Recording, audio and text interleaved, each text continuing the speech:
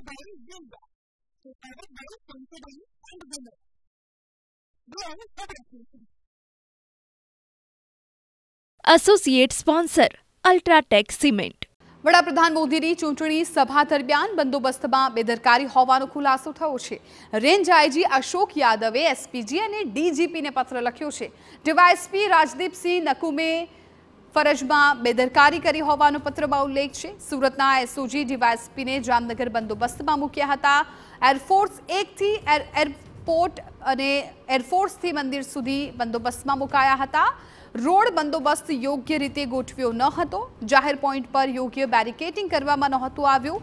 National પાર્કમાં કોઈને તપાસ કરાઈ નહોતી. પોલીસ કર્મચારીઓને યોગ્ય નિયમો મુજબ રસ્તા પર ઊભા નહોતા રખાયા.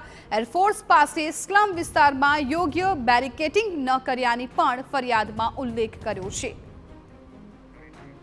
સંવાદદાતા હરીન માત્રવાડિયા વધુ જાણકારી આપી રહ્યા છે. હરીન, શું છે વિગતો સમગ્ર?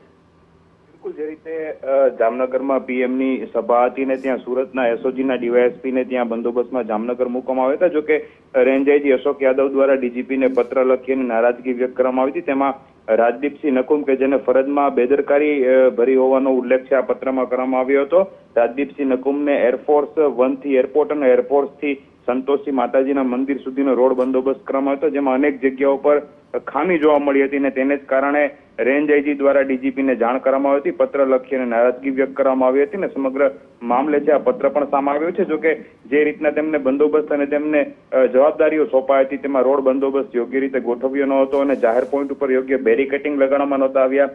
ડીપ પોઈન્ટ ઉપર યોગ્ય રીતે ડીપ પોઈન્ટ પણ યોગ્ય રીતે નહોતા લગાવ્યા હોવાનો આ પત્રમાં છે તે ઉલ્લેખ કરવામાં આવ્યો છે. જી. બિલકુલ હરીન આભાર સમગ્ર માહિતી બદલ. તો રાજ્યના પોલીસ વડાને પત્ર લખવામાં આવ્યો છે. ડીવાયએસપી રાજદીપસિંહ નકુમે ફરજમાં બેદરકારી રાખ્યાનો તેમના પર આરોપ લગાવવામાં આવ્યો છે આક્ષેપ કરવામાં આવ્યો છે ને આ સાથે પત્રમાં ઘણા બધા એવા મુદ્દાઓ લખ્યા છે કે જ્યાં બંદોબસ્ત સરખો ન કરવામાં આવ્યો હોય તેનો ઉલ્લેખ કરવામાં આવ્યો છે.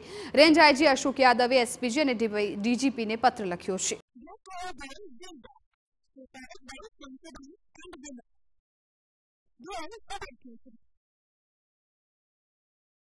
Associate Sponsor Ultratech Cement.